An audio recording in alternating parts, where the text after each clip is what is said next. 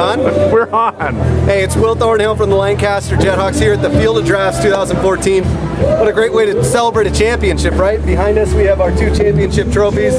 2012 California League Championship, 2014 California League Championship. This is our Toyota Cup Series, our best record uh, in the California League against our South Division teams. Won that two straight years.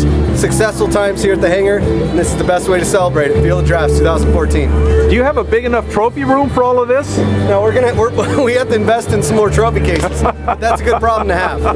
And manager of the year? California League Executive of the Year. Yeah, it was. I, am very honored uh, and humbled to be voted that by the rest of the, the uh, general managers and owners of the California League teams, and it's a big deal, and, and I, am really appreciative of it. So, as the executive, you're the one that hires the managers.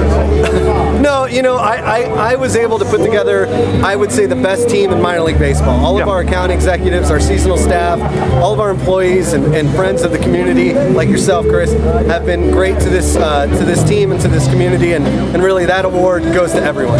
Hey, when people when you get a championship, do all of a sudden people realize that Lancaster has a professional baseball team? You know, I think they're realizing it already. There's a buzz throughout the town about what this team can do and what we do in the community. We built our community impact report. We raised over almost $500,000 for local charity this year, and that's really where our heart and soul lies. This is bringing this this community together to celebrate this team, but also celebrate the Antelope Valley. Hey, and uh, you almost had a rain out. You saved your rain out for the end of the season.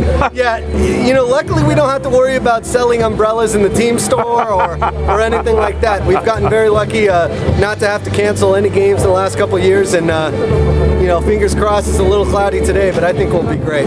Thanks, Wil. Thanks a lot.